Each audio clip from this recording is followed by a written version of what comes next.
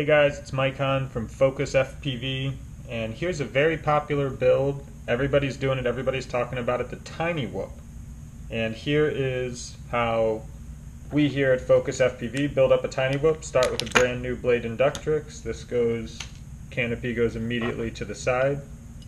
Got uh, this particular tool I love, um, just some screwdriver I found in a vape set and we'll go ahead and just get all these out. And then this is kind of the technique I use kind of brace the side. And it is there are many ways to build up a tiny whoop. Many many many. Probably fast forward through this boring part of watching me hit all four of these screws. And of course you do not need to take out the back screw, that is a common mistake. We are live action here. This is how I put that screw back on though, just for the viewers at home. You do not need to take out the back screw. The mount that we have does only use three. So we will go ahead and correct a mistake here, but it is kind of interesting just because everybody builds these up differently. You have just some certain way to take out the screws, and uh, everybody kind of does it differently. And you know, each way has its merits. This is my way. This is how I take the tiny whoop apart. You can always see the little arrow on the board. It shows you where the head of your bird is if you don't build up dozens of them every week, like some of us. And once we pop out these screws, we're ready for, now she's naked, we'll go ahead and uh, get her ready for a motor swap. She's now ready for the 3D printed piece that will take those three screws, and that's why you can see that the, so this is a little tool that I use, another from another vape set. But uh, really gets under the prop, pops it off. It's difficult to show this part. Kind of like wedge it so you don't break the three struts, which are the commonly broken points. And I know it looks kind of rough, but I have done this many, many times, and you can see all of the struts are fine. The most breakable part of the inductrix, we'll go ahead and set these props right here for a moment. We'll go ahead and rip out the motors, Save these guys, by the way. Here's a pro tip. See that thing? Save it. Don't let it go anywhere. You kind of want it. You can pick them up at your local Harbor Freight or something else, but you do want to save them when you're building up your own tiny whoop. Now, this tool is amazing. This is how, if anybody out there builds up many of these things and fights the ESC out, this is how easy it is with this random vape tool to poke out the ESCs. So now you have these little motors and those, those little fellows are going to have to go because we're putting in the 55k RPM race motors and you can kind of see my process here. It's kind of pushing them up and then once you got all four up I take this little fellow right here and I hold the back of the motor. Give it a one time like this. And then once the motor comes out, go ahead and free it from its stocky area and we'll just go ahead and throw those aside. I don't think, ah, nobody's looking for stock motors. If anybody needs stock motors, you call a guy because I got your stock motors. Motors on motors on motors. If you're a school and you want them donated, just holler. And so this is a way, again, you're always worried about those three struts on each motor housing.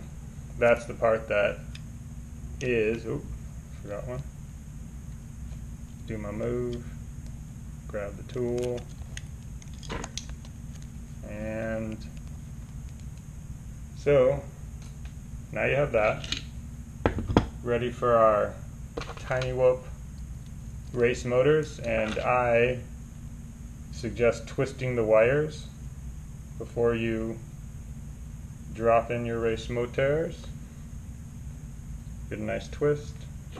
And now just from, oh, I guess you could say building up tons of them, I do know kind of right where the CWs and the CCWs go. Can check your local listing for whatever motors you're using. If you do have the current brand of Tiny Whoop motors, right from the Tiny Whoop people themselves, then you can follow my little game. If not, well, check your CWs and CCWs. I'm not your dad. I am somebody's dad. I do have a small child.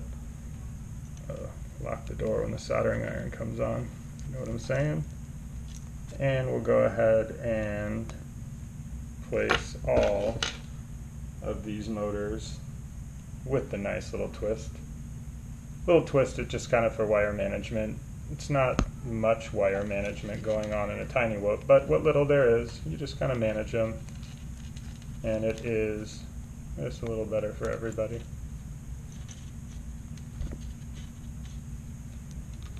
And we are just about at the fun parts.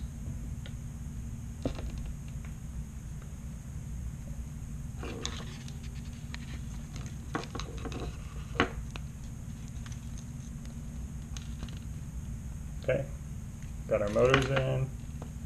Time to drop on our Tiny Whoop mount for the FXT camera, which will be making its debut in a moment. And I find it a little bit easier if you want to preload your screws. I'm going to preload, kind of load them all up there. Now you got your whoop ready to go. Now the first first screw is always the trickiest. I kind of use this little move, kind of this little move. It's kind of how I set it at the beginning. It's worked well for me. Dance with the girl that brought me here, kind of thing. And then you start the brutal task of screwing in a TPU printed 3D printed mount and you want to get them like not super tight but you get them like just enough because you are flying mostly in auto level at least I am I think most people building up are. And so you want that cushiony you want to like tighten just where you give it a little squeezy.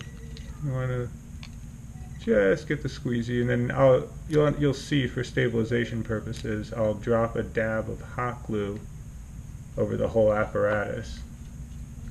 And just we'll get a nice stable camera mount for the FXT so now we have a mount in place let's go ahead and wrap the wires get those out of the way I go for a little wrappy poo every time I'll get the JST connector in. Definitely harder on the way in and out and out. So you get your little motor wire wrap. Take that little plastic piece that you'll never ever lose. Not one person will ever lose it. Everybody will remember them. They won't be somewhere in your carpet. No chance.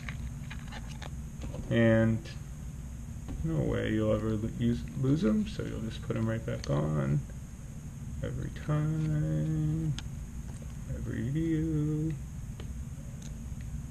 and we'll just kind of snap in our JST connector. I think it's JST. There's a lot of connectors in this game, so apologies if that's wrong. Don't hate on a guy. Showing you how to build a tiny whoop. Alright. Sometimes those little guys can be an issue. Okay, so now we got motors It's time for the FXT camera to come out and play now. Alright, we'll save this for later. FXT camera, standard. Now, start to get them decased, I've seen. This is also the little 798 version with the little flexi antenna. Take it out, get the case off, you give it a little one time, take your camera lens off, give it just a little whoop, take it off. Immediately put your lens cap back on so you're not going to mess around with that 600 TVL camera. Give it a little clip, make a pile of these in your house. And back to this cute little mount, has a little spot for the wires. So we'll grab them, give the wires a pokey, kind of uh, get a little thing here, get them both through.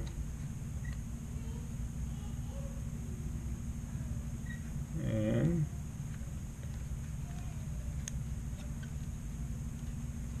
so we'll fit camera in. And it's gonna be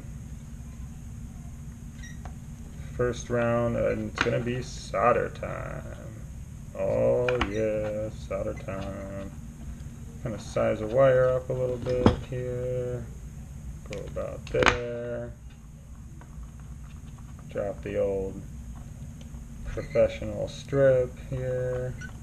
I'm going to solder correctly today. That's kind of the way to do it the lost art. You will tin your subject matter first. Then you will drop that little ball. I'll show you. It is better shown. Um,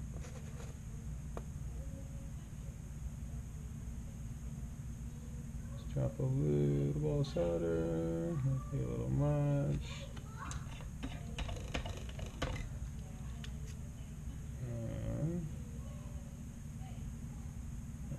10 up.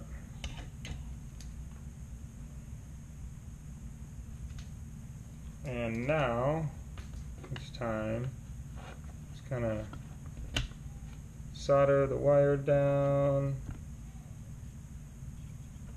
and we will get some power to that FXT camera momentarily.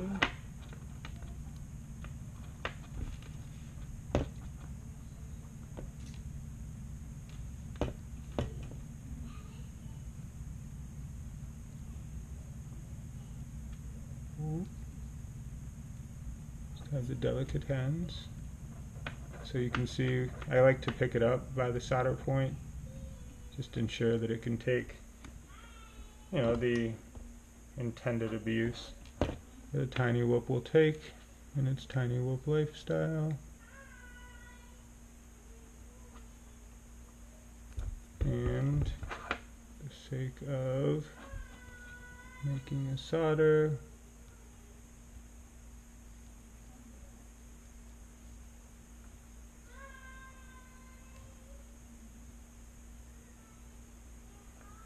Alright, and so once the solder is done, I like to verify. I like to just kind of give it kind of this maneuver. And then I also want to bend wires a little bit. I want to get them kind of back here. Is where I want them. And then right as soon as I do that, I'll grab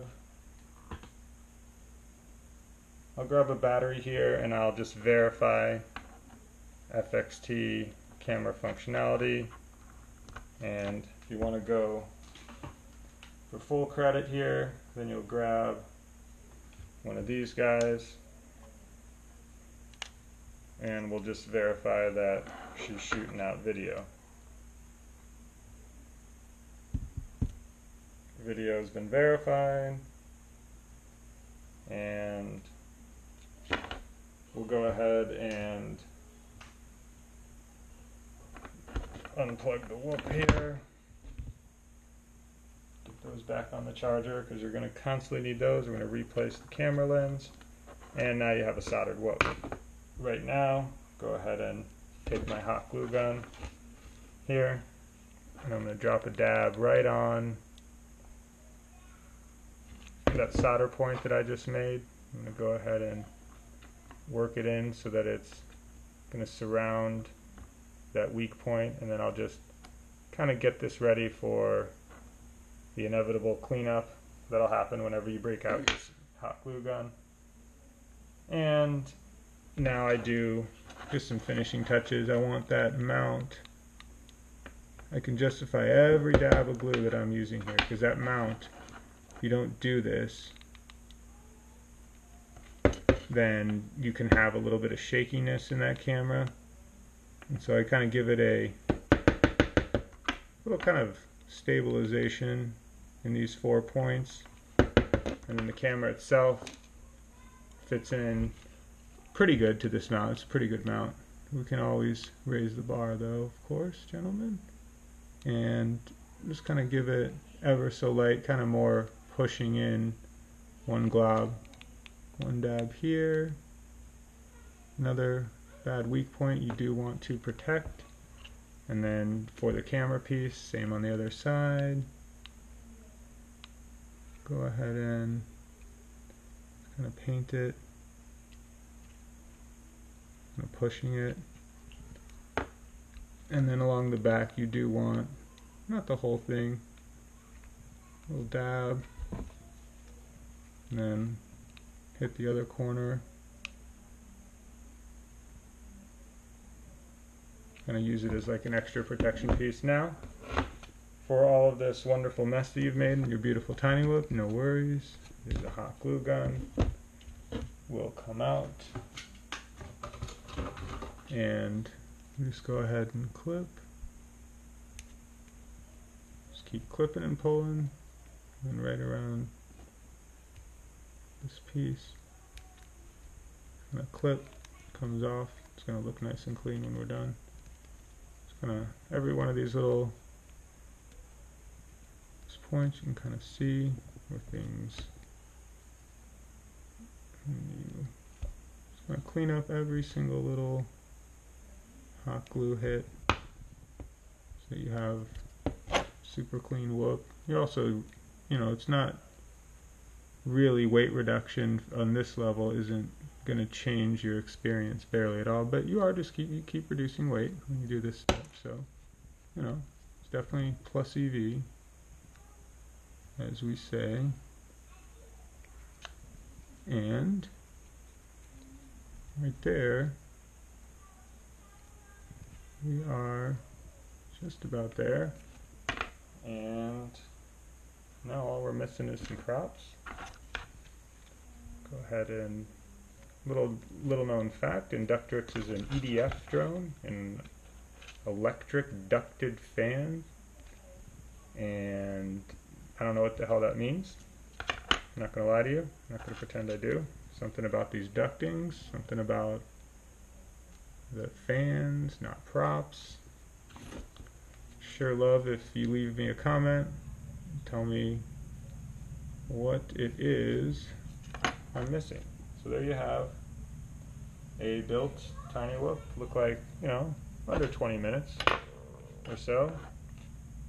And we'll get the, uh, you know, I guess the big payoff here is, uh, you know, does she just power right up and fly away? And if she didn't, I'd probably lie to you guys. No, I'm just joking.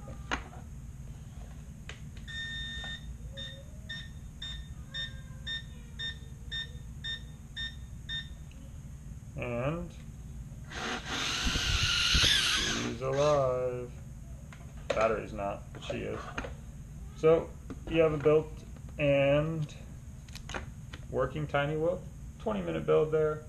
Uh, you know, first time is going to take a little longer, of course, but um, pretty easy, pretty fun. A lot of get that micro FPV kick with, you know, pretty inexpensive considering the hobby that we're all in.